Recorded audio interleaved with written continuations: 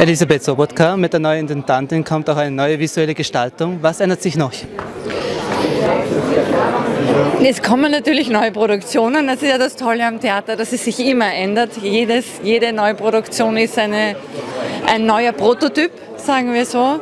Ähm, es kommen vielleicht zwei neue Programmschienen dazu. Das eine ist das Opernstudio. Wir machen mit jungen Sängern im Vorarlberger Landestheater Cousy.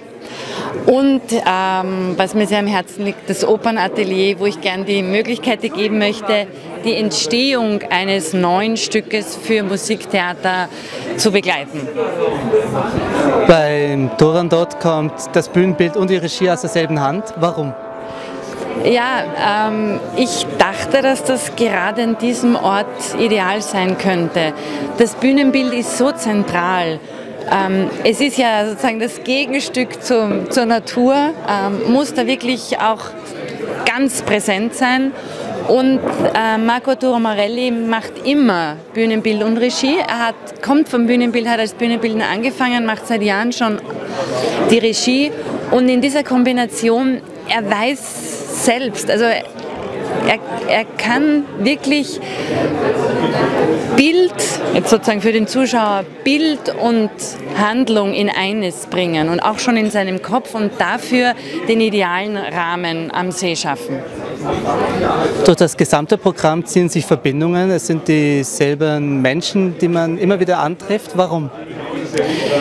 Ja, das entsteht bei, mich, bei mir automatisch bei der Programmgestaltung, dass ich Verknüpfungen suche, Verbindungen.